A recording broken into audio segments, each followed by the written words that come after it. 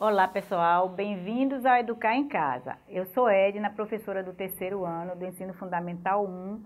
Nossa aula hoje é língua portuguesa. É, roteiro. Nós vamos ver o texto contando histórias, vamos ver número do substantivo e o emprego do MP e MB, quer dizer, o M antes de P e B. Contando histórias. Na África, o contador de histórias chama-se griot uma função bastante prestigiada nesse continente, porque traz ensinamentos e preserva as tradições. No Brasil, os contadores têm se espalhado por todo o país. Poder ouvir uma história bem contada é um privilégio. Raio X, nome Tainara, Tayara Nadal, idade 12 anos, onde mora Manaus, Amazonas.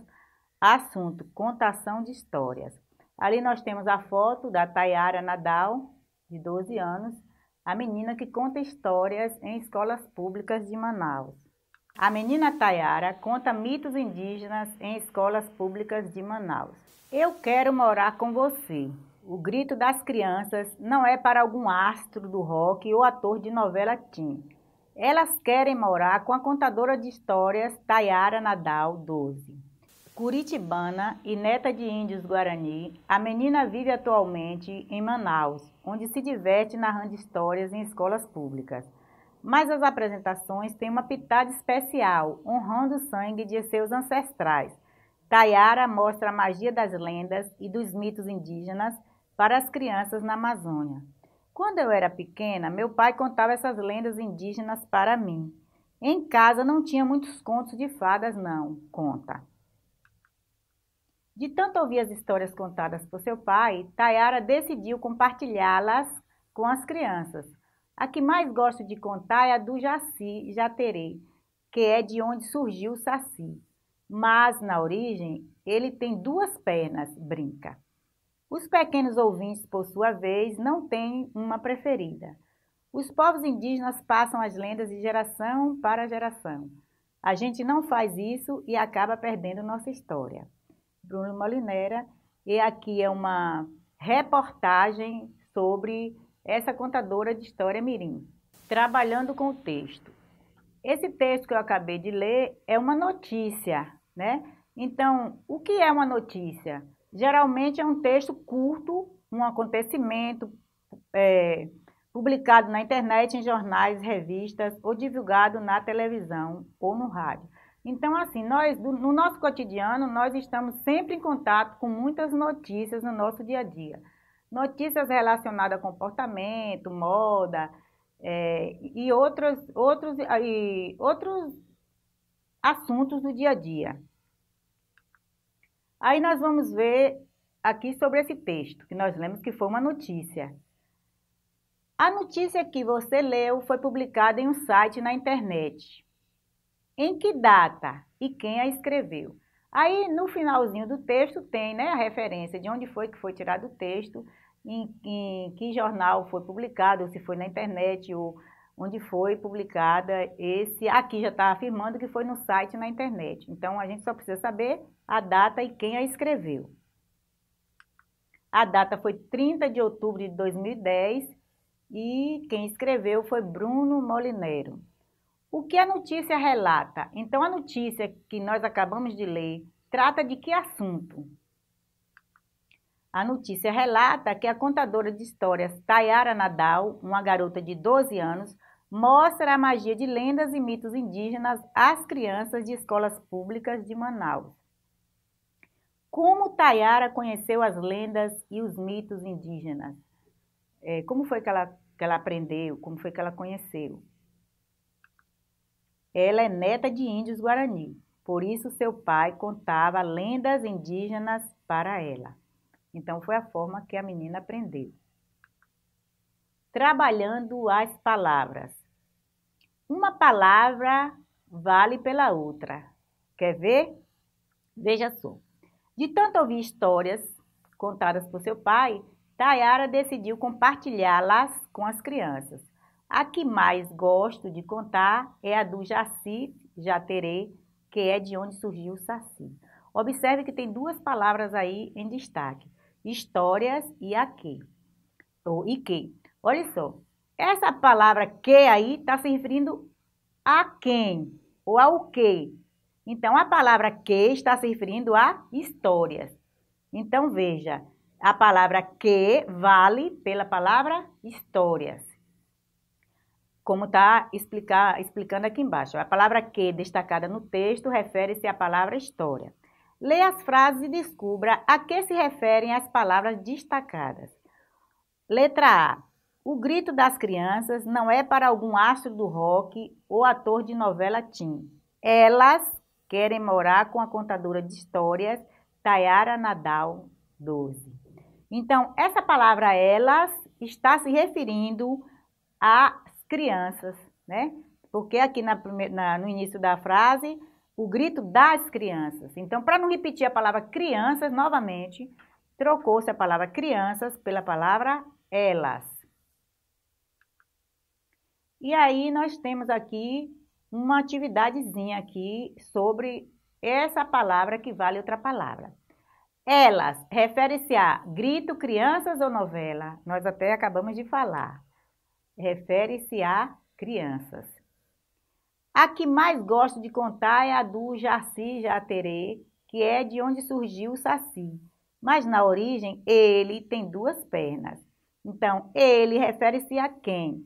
A história ao Jaci Jaterê ou Boitatá? Vamos ver. Então, ele se refere ao Jaci Jaterê, né? Que deu origem ao Saci. Aí nós vamos para número do substantivo. Olha só, o número do substantivo serve para indicar se nos referimos a um ser ou a vários seres. Olha só, ele pode estar no singular ou no plural. Se for um ser, está no singular. Se for vários, dois ou mais seres, ele está no plural. Aqui nós temos no singular, que indica um só ser, nós temos livro, rosa, bola. No plural, essas mesmas palavras, livros, rosas, bolas. Então, está indicando que não é uma bola só, são de duas ou mais bolas, né? Várias bolas. Para passar um substantivo do singular para o plural, geralmente acrescenta-se o S ao final da palavra, mas há outras maneiras de formar o plural. Então, essa coisa de colocar o S no final não é uma regra para todas as palavras, né? A maioria ou a grande parte, sim, mas tem outras formas de é, passar o substantivo do singular para o plural. Vamos ver aqui. Por exemplo, observe. Acrescentando o S, nós colocamos dois exemplos. O gato, os gatos, o pássaro, os pássaros. Foi só acrescentar o S. Agora, a palavra terminada em zes. Olha só como muda, como muda, como é acrescentada outras letras. No caso, o cartaz, os cartazes. No caso do rapaz, os rapazes. Então, foi acrescentado o ES, né? Então, a palavra final, ZES.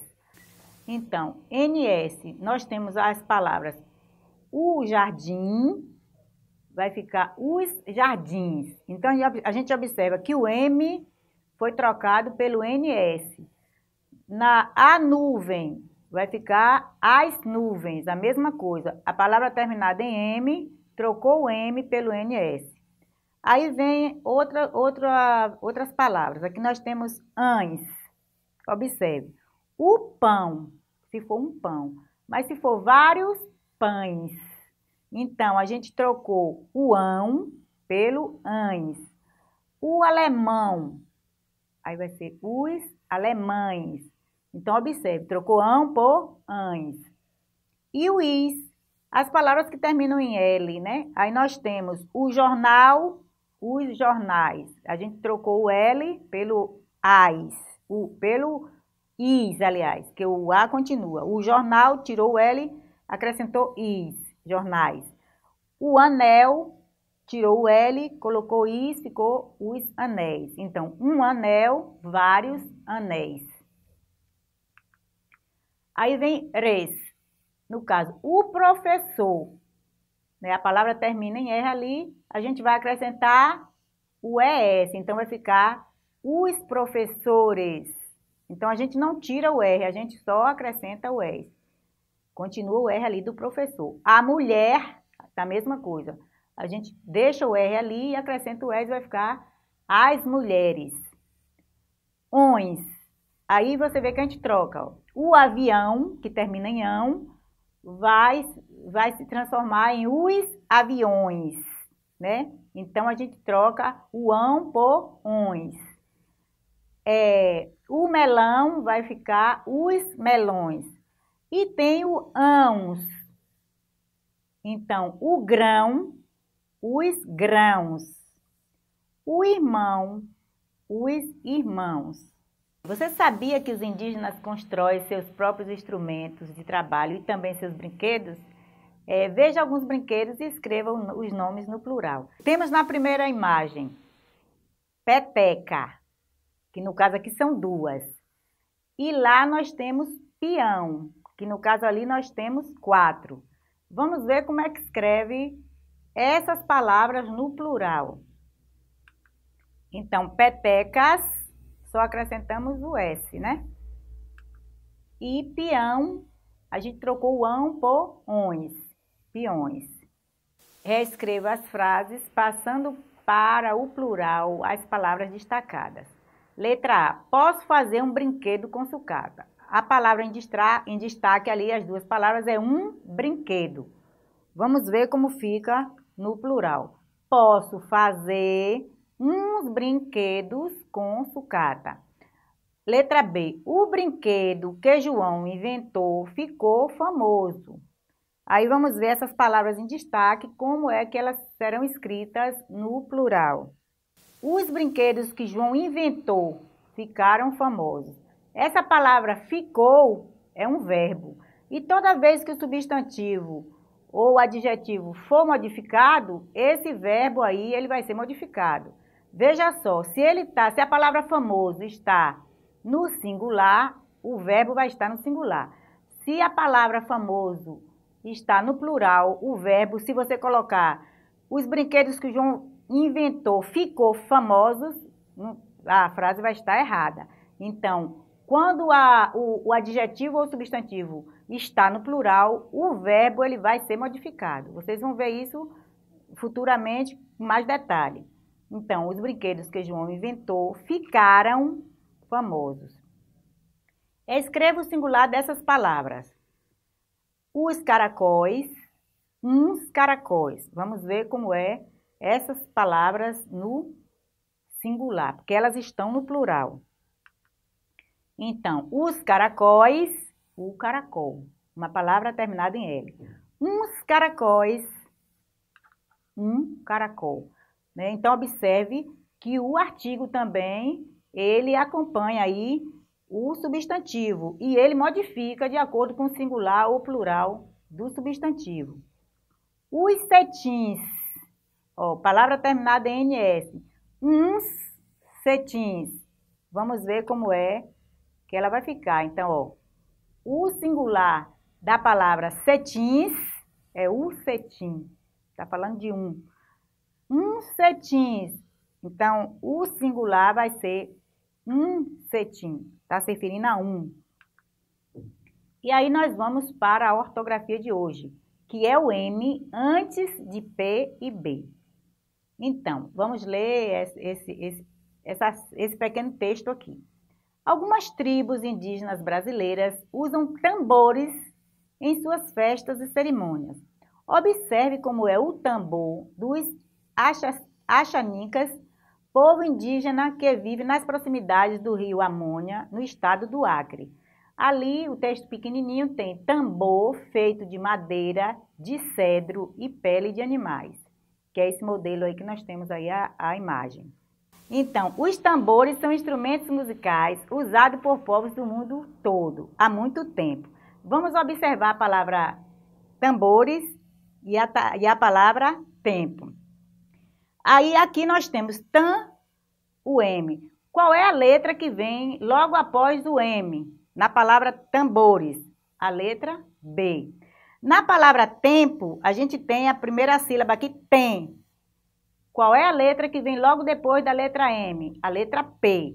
Logo, antes das letras P e B, escrevemos M. No caso da palavra instrumentos e da palavra mundo, qual é a letra? Ah, então, é, instrumento. Aí nós temos o N. O, qual é a letra que vem logo após o N? A letra T. E qual é a letra que vem logo após o N na palavra mundo? A letra D. Ou seja, se logo após a letra não for nem P e nem B, a gente escreve N. Se logo após a letra vier P e B, aí a gente escreve M. Vamos ver isso na atividade. Leia as palavras do quadro. Tempo, instrumento, samba, exemplo, modernizando e tambor. Observe bem essas letras em destaque. Letra A. Que letra vem imediatamente antes das letras P e B nessas palavras? A letra M. É isso? A letra M é usada antes de alguma outra letra? Por quê? Vamos ver se ela é usada. Não, não é usada. Por que, que não é usada? Porque é apenas usada antes de, da letra P e da letra B. Aí vamos agora treinar aí a escrita do M do N. Complete as palavras com M ou N. Palavra banda. Antes da letra D ali, nós vamos colocar M ou N N. Dezembro. Antes da letra B, vamos colocar M ou N? M. Lembrar. M ou N? M. Emprego. Olha bem a letrinha lá. Qual é a letra que a gente vai colocar antes? M. Dente. Olha lá o T. Antes, nós vamos colocar que letra? M ou N? N. Engraçado. Antes da letra G ali, né? A gente vai colocar M ou N? N. Né? Então, aí dá para você treinar um pouco a escrita do M e do N. A conclusão é, hoje nós vimos um texto contando histórias que é uma notícia né, e que a gente vê notícias em jornais, internet, no rádio, na TV. É, o, vimos também o número do substantivo, singular se for para um objeto ou um animal, um ser, e plural se for para vários objetos, animais, vários seres, né? O emprego do M e do N. É, o M, aliás, o emprego do M, P e MB. Então, o M ele só é escrito na palavra se ele vier antes do P ou antes do B. Aqui nós temos nossas referências. Eu espero que vocês tenham gostado e que tenham também assimilado o conteúdo de hoje. E por hoje é só. Eu espero que tenham gostado. Até a próxima.